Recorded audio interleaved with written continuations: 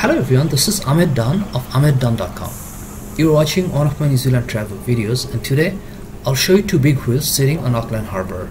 These wheels, 8 tons each, were part of a steamship engine built in Scotland in 1903.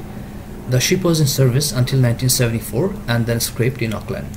Thank you for watching this video. Forget about subscribing to this channel, forget about liking this video. There'll be more videos coming up so I'll see you shortly.